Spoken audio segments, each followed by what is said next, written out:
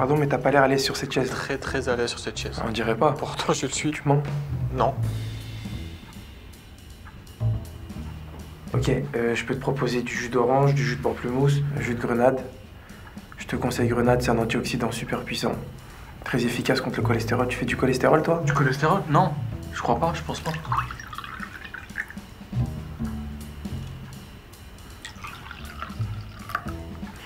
Du coup, qu'est-ce qui t'amène? Je mène une petite enquête sur le gardien. Et J'ai parlé avec Damien aussi. Damien, celui qui raconte plein d'histoires, là.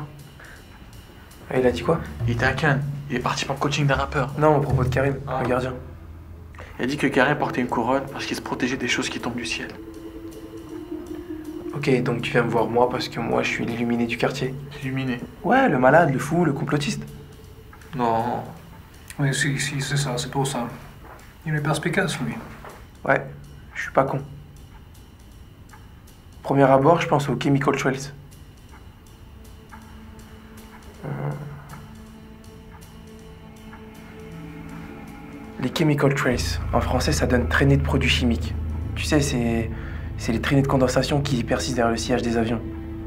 Ils disent que c'est de la vapeur d'eau, mais rien du tout. On utilise ça en géo-ingénierie. Tu t'es lavé les mains? Oui.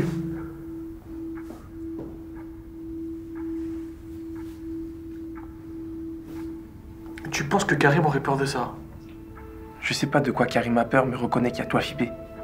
Il y a, des- y a- il y a autre chose qui tombe du ciel Je pense au projet HARP. T'as bien conscience qu'on peut nous balancer tout et n'importe quoi dans le ciel Putain, J'ai jamais pensé à ça. Ouais, bah il serait peut-être temps là.